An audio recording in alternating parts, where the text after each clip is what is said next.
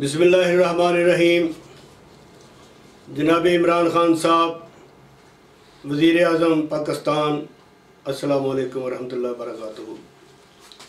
جناب علی، میں آپ کی خدمت میں قوم کے ستر سالہ گمبھیر مسئلے پر کچھ عرض کرنا چاہتا ہوں۔ یہ دو مسئلے ہیں جن کی وجہ سے پوری قوم ستر سال سے ایک مستقل عذاب کا شکار ہے۔ ہماری تین تین نسلیں انہی مسائل کی وجہ سے برباد ہو چکی ہیں۔ قوم کا کھربوں روپیہ خرچ ہو چکا ہے۔ اور اس کے باوجود عدالتوں اور پولیس اسٹیشنوں کے چکر لگا لگا کر قوم چور ہو چکی ہے، چکنا چور ہو چکی ہے، لیکن انصاف ابھی بہت دور ہے۔ مظلوم کو اس کا حق نہیں مل رہا۔ میں اس کے بارے میں کچھ عرض کرنا چاہتا ہوں۔ بہت آسان ہے۔ سب سے پہلی رکاوٹ ہمارے ملک میں ایف آئی آر کا اندراج ہے۔ اور پھر عدالتوں میں جو ہمارے مقدمات ہیں، ان کی سماعت کے دوران جو سائلین کو مشکلات کا سامنا کرنا پڑتا ہے، ان دونوں مسائل کے بارے میں میں نے ایک چھوٹا سا پمفلٹ شائع کیا ہے۔ اس میں بڑی وضاحت کے ساتھ لکھا ہے کہ یہ ایف آئی آر کس طرح درج ہونی چاہیے۔ اس کی وجہ سے کون کون سی مشکلات ہیں اور پھر عدالتوں میں اس کا کیا حل ہونا چاہیے، وہ میں نے اپنے مختصر سے ایک کتابچے میں جو بارہ صفحات پر مشتمل ہے، اس میں ذکر کیا ہے۔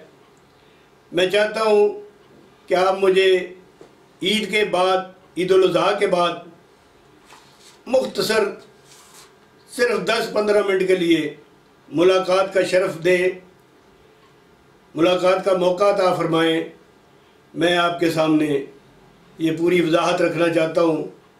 انشاءاللہ اللہ اگر آپ نے اس پر تھوڑی سی توجہ فرما لی، تو ہمارے مسائل، ہمارے مقدمات جو ستر ستر سال میں حل نہیں ہوئے، وہ دو دو تین تین مہینوں میں وہ مقدمات ختم ہو سکتے ہیں۔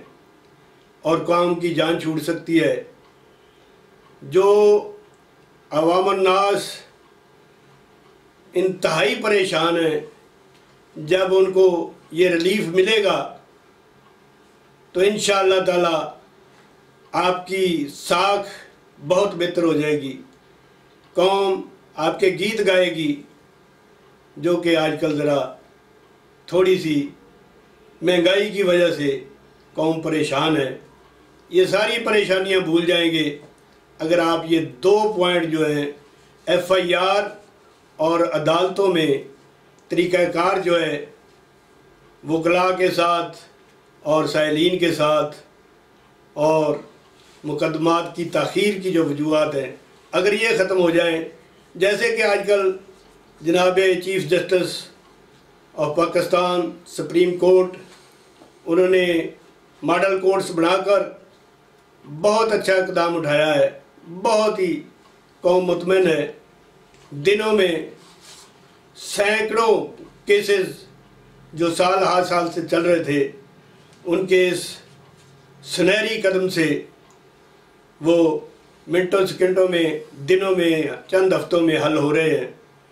پوری قوم انشاءاللہ جب اس کی جان چھوٹ جائے گی عدالتوں سے اور پولیس اسٹیشنوں سے تو اپنے کام میں توجہ دے گی اور جب کام میں توجہ دے گی تو ملک خوشحالی کی طرف گامزن ہوگا اور قوم بھی خوشحال ہوگی اور آپ کو بھی دعائیں دے گی، آپ کے گیت گائے گی، آپ کا انشاءاللہ بول بالا ہوگا۔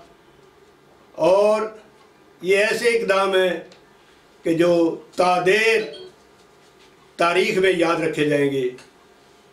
امید ہے کہ آپ مجھے ملاقات کا موقع تھا فرمائیں گے تاکہ میں اپنی گزارشات مفصل طور پر آپ کے سامنے پیش کر سکیں صرف دس منٹ کے لیے، پندرہ منٹ کے لیے بہت شکریہ، بڑی مہربانی۔